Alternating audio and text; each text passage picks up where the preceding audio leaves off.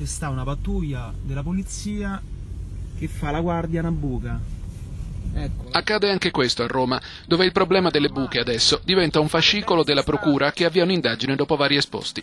Le strade della capitale non sono mai state perfette, ma adesso la situazione è drammatica in molte zone persino del centro. Limiti di velocità di 30 km orari in tangenziale, vie chiuse e per le riparazioni servirebbero 250 milioni all'anno per 5 anni.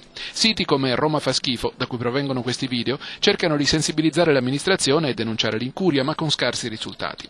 In sette anni ci sono state oltre 10.000 segnalazioni ma non sono bastate. Inoltre, ormai da tempo, chi ha un incidente a causa di una buca non chiama solo il carro attrezzi ma anche la polizia e intenta poi causa civile a Roma Capitale. È vero che i rimborsi non possono eccedere i 12.900 euro, ma se moltiplicati per migliaia possono pesare sulle casse di un'amministrazione cittadina ben oltre l'orlo di una crisi di nervi.